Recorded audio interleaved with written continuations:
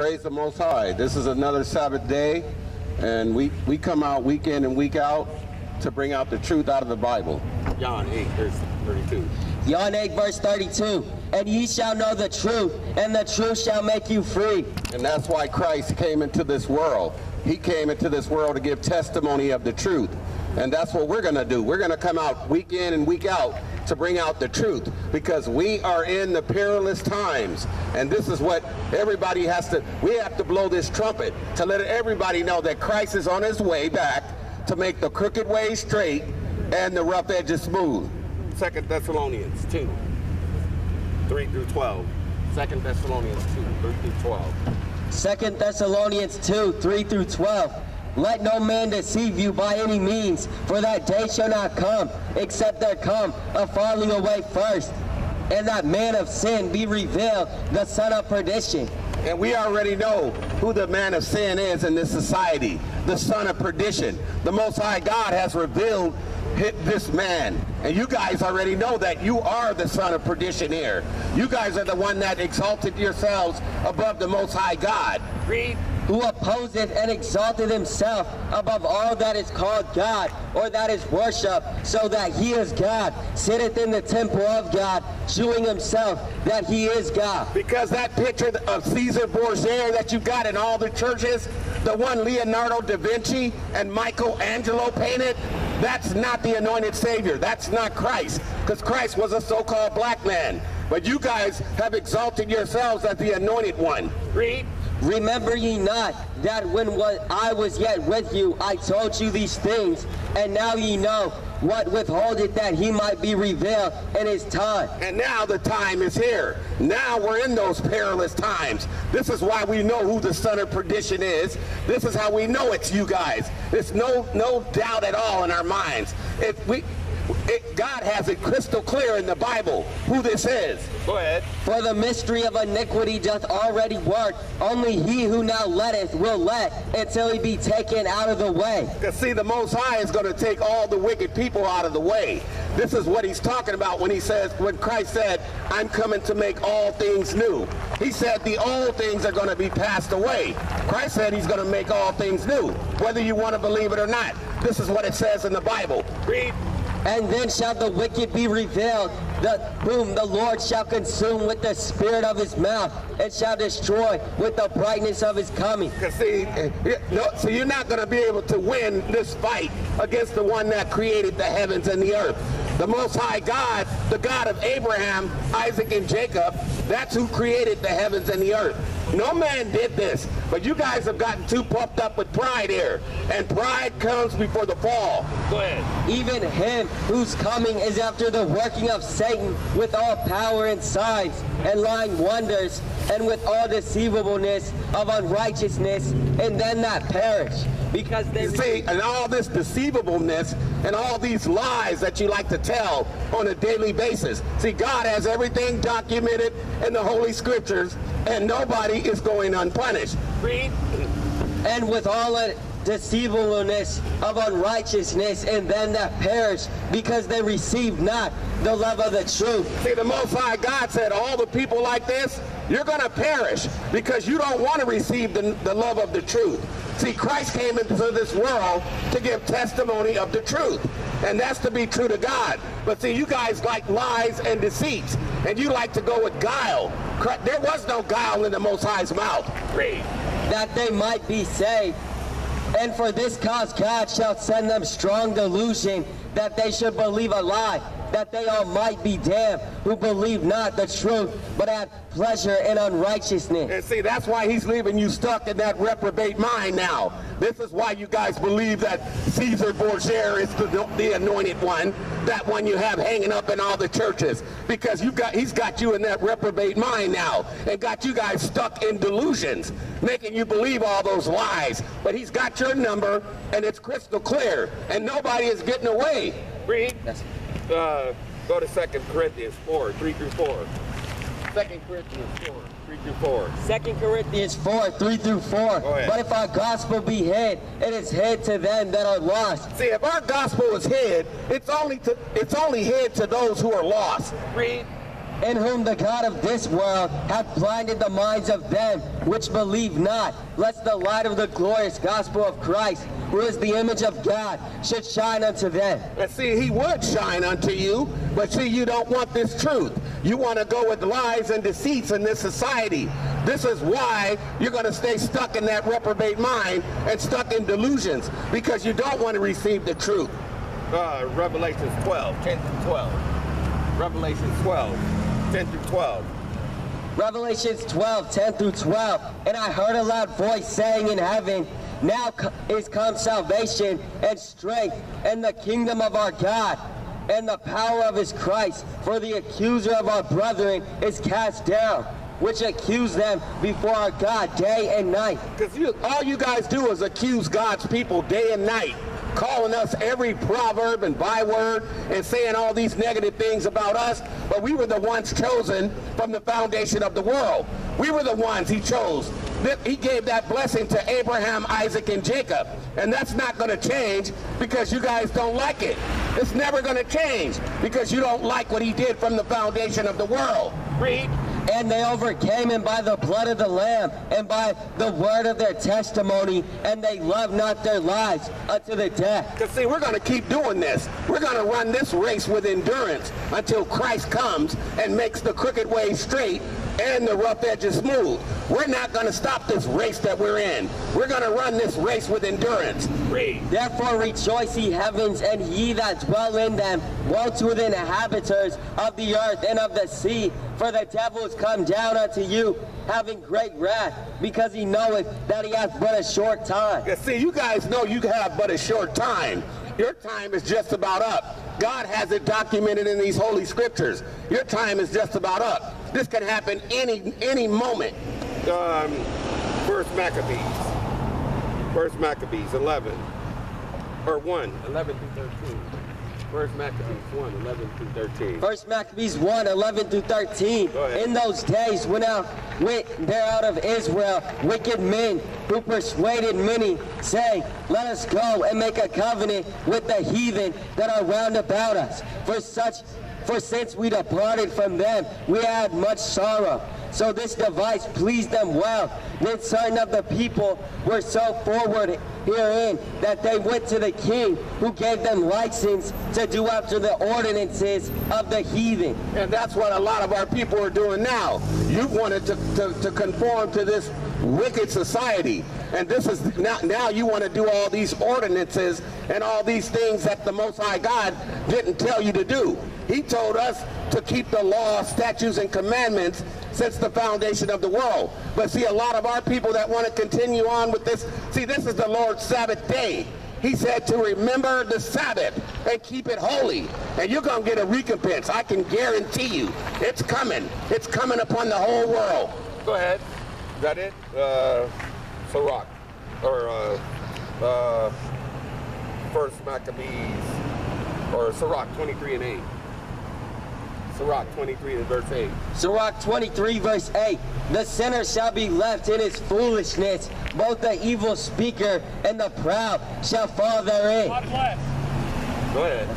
I'll jump down to um, the, the bread is sweet to a whoremonger. So just jump. Verse 17, all bread is sweet to a whoremonger, he will not leave off till he die. See, this is the this is the prophet Sirach. He said all bread is sweet to a whoremonger, and he's not going to stop doing all these wicked things until he dies. Read. A man that breaketh wedlock, saying thus in his heart, Who seeth me? I am compassed about with darkness. The walls cover me, and nobody seeth me. But see, this this is the problem. How you doing, brother? The, the problem is that the Most High God, His eyes is upon the sinful kingdom, and He sees all and knows all because He's omnipotent. Read. What need I to fear? The Most High will not remember my sins. And see, a lot of people think that whatever they're doing here in this body, they think that they're getting away with it. But let's see what the prophet Sirach had to say about it. Read. Such a man only feareth the eyes of men, and knoweth not that the eyes of the Lord are ten thousand times brighter than the sun. He said the eyes of the Most High God is 10,000 times brighter than the sun. So there, there's nobody getting away with doing anything that's wicked here in the body. Read. Beholding all the ways of men and considering the most secret parts. He knew all things ere ever they were created. So also, after they were perfected, he looked upon them all. And he's been looking upon everything since he created this thing.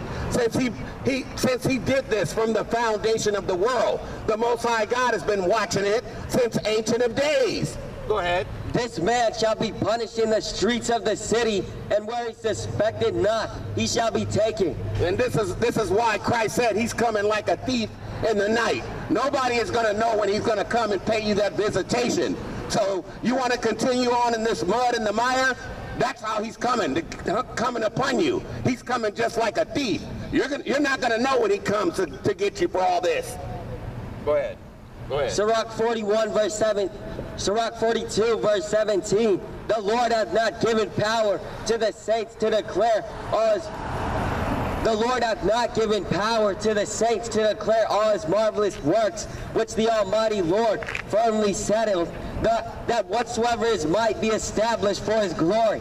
He seeketh out the deep and the heart, and considereth their crafty devices. For the Lord knoweth all that may be known. See, the Most High God knows all that may be known, and there is no creatures hidden from his sight, but all things are open to the naked eyes of him to whom we must give an account.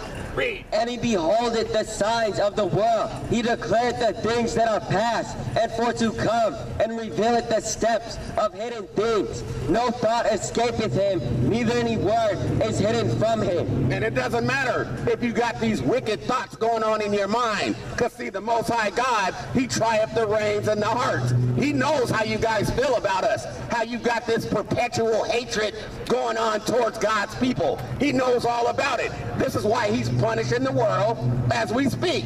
And he's not going to stop until he accomplishes his mission. Go ahead. He hath garnished the excellent works of his wisdom, and he is from everlasting to everlasting. See, the Most High God is from, he's the one that created the heavens and the earth. He said before the mountains were brought forth, from everlasting to everlasting, thou art God. He's the one that did this. No man did this. This is why you guys are going to be greatly confounded in a minute when he smashes every single adversary right here on this planet. Read. Unto him may nothing be added, neither can he be diminished, and he hath no need of any counselor. He's no need. He has no need of any counselor because he is the wonderful counselor. He's the mighty God, and there's no creatures hidden from his sight. Read. Go ahead. Go to Hebrews chapter 4. You can go there. Hebrews 4. There ain't no creatures hidden. Hebrews 4. Uh, Hebrews 4 verse 12. go ahead. For the word of God is quick and powerful See, the word of God is quick, it's sharp, and it's powerful. Read. and sharper than any two-edged sword, And it's sharper than any two-edged sword. Read. piercing even to the dividing asunder of soul and spirit, And, and see, he knows how to, see, he gets into that mind and gets into that soul and spirit.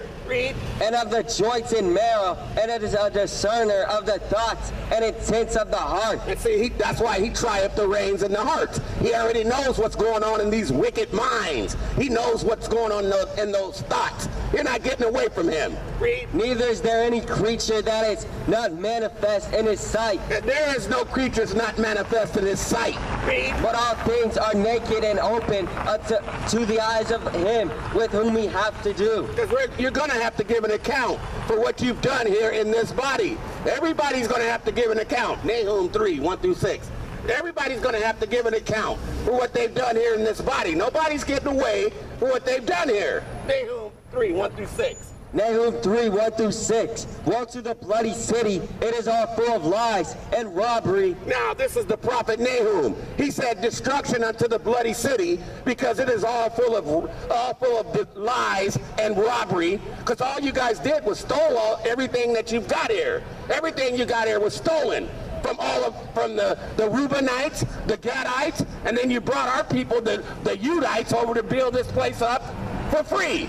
And God has it all documented in the Holy Scriptures. Read. The prey departed not, the noise of a whip, and the noise of the rattling of the wheels, and of the prancing horses, and of the jumping chariots. The horsemen lifted up both the bright sword and the glittering spear, and there is a multitude of slain and a great number of carcasses.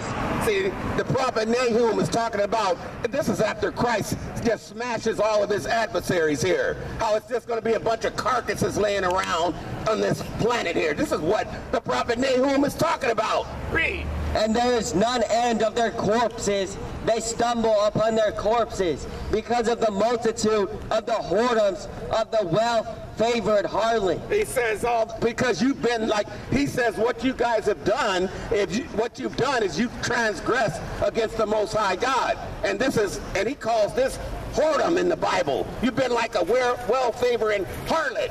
God is saying you've been like a whore, a whoremonger. This is what the Most High God is saying. Read. The mistress of witchcrafts that selleth nations through her whoredoms and families through her witchcrafts. Behold, I am against thee, saith the Lord of hosts, and I'll discover thy skirts upon thy face, and I'll shew the nations thy nakedness, and the kingdoms thy shame. And now your shame is already being seen. The whole world knows about this wicked place here. This mystery. It's not even mystery Babylon anymore. Everybody knows this is Babylon here. And spiritually Sodom and Egypt. Everybody in the world knows about this wicked place now. Isaiah 47 verse 1. Isaiah 47 verse 1. Everybody knows about this wicked Babylon, and but it, it, it, in the Bible it was mystery Babylon. But see, Paul said he wanted to unravel the mysteries, and that's what we've done. We've studied, and now we've unraveled these mysteries. Isaiah 47 verse 1. Go ahead. Come down and sit in the dust, O virgin daughter. And sit down in the dust, O virgin daughter of Babylon. See, this, this place is called Mystery Babylon in the Bible, but see, listen to what the prophet Isaiah said about this place. Read. Sit on the ground, there is no throne, O daughter of the Chaldeans, for thou shalt no more be called tender and delicate. This place is no more going to be called tender and delicate because now this place's skirt has been lifted up. God has everything documented in the Holy Scriptures, and nobody is going unpunished for what they've done here to God's holy people. Read. Take the millstones and grind mill, uncover thy locks, make bare the leg. And, and God is saying He's lifted up the skirts of all of these, these wicked people here, the women and the men. He's lifted up and He's showing the world through the Bible all the wicked deeds that you have done through time. Read. Uncover thy locks, make bare the leg, uncover the thigh, pass over the rivers, thy nakedness shall be uncovered, yeah, thy shame shall be seen. And now your shame is being seen. Everybody in the world knows about this wicked Babylon and this spiritual Egypt here. This is spiritually Sodom and Egypt. This place, this place was got with ill dealings and unrighteous decrees. And God has everything in this Bible, and nobody's going unpunished. You're going to get this judgment that he that he has appointed to all the wicked in this Bible. Go ahead. I will take vengeance, and I'll not meet thee as a man. And he's not going to meet you as a man. You're not going to put him back on that cross. He's coming back as the Almighty to judge this place. Because in righteousness, we're going to be established. You're not going to be doing nothing to Christ when he comes back in this second trip. Read. As for our Redeemer, the Lord of hosts is his name. As for our Redeemer, the Lord of hosts is his name. This is the, the mighty one of Israel. This is who our Redeemer is. Not Cesar Borgia, the one you, that Leonardo da Vinci painted, and Michelangelo, the one you have hanging in all your churches. That's not who we worship. We worship the true and living God. Read. The Holy One of Israel. The Holy One of Israel. That's who we're talking about. The Holy One. Read. That's it. Um, uh, Ezekiel 35, the perpetual. Ezekiel 35, the perpetual, because they've had that. Ezekiel 35 verse 1. Moreover, the word of the Lord came unto me, saying, Son of man, set thy face against Mount Seir. And see, the Most High, he has a problem with Mount Seir. This is Mount Seir. This is Mystery Babylon. This is spiritually Sodom and Egypt. Mount Seir, you guys were the ones that came out of those Caucasus Mountains of Georgia, Russia. This is why they call you Caucasians. See, we study, we study, we know your history too. You guys try to call us African Americans, but God calls us the Israelites from the tribe of Judah. That's what God calls us in the Bible. Read. And prophesy against it. So we're out to prophesy against this, this wicked kingdom. We're out to prophesy against it. Read. Saying, Thus saith the Lord God, Behold, O Mount Seir, I'm against thee. See, the Most High God is against Mount Seir. He's against the cave dwellers. He's against Idumea. See, we know all